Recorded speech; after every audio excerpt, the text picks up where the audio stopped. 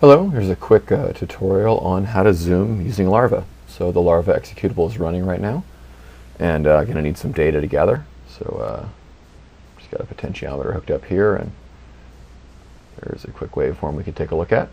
If I wanted to zoom in on this guy, um, the easiest thing to do is to, uh, to use autoscale. So if I just come over here to the axis, I can right click and say autoscale Y.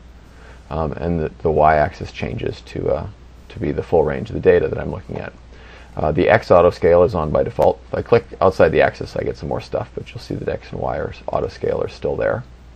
So if I want to go and find uh, these peaks, then um, what I can do is I can type into the largest and smallest uh, x-axis here, change those. So if I were to say, all right, well, I want to go to up to about 500, I could go over here to 5, the end, and click 500. But it didn't take. The reason is is because auto scale's on. So I got to turn auto scale off. Notice my data stream runs off the end here.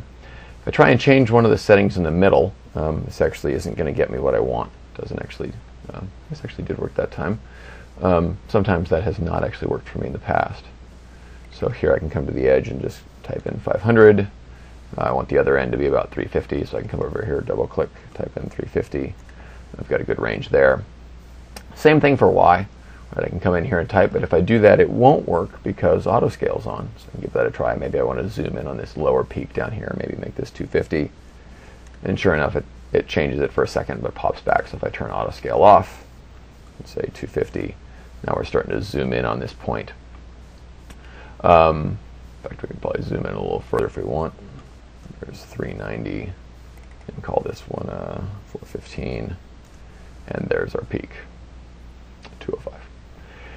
there's uh, this is just using the executable. A lot more functionality can be uh, derived from using the included source files that are included with Larva. You can show the graph palette, and then you can uh, you can zoom in using visual tools. You can also use property nodes to zoom.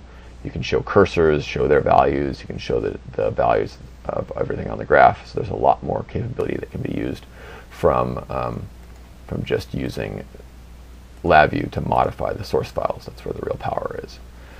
So any more questions, uh, just check out angstromdesigns.com. If you don't have Larva, download it for free there, www.angstromdesigns.com.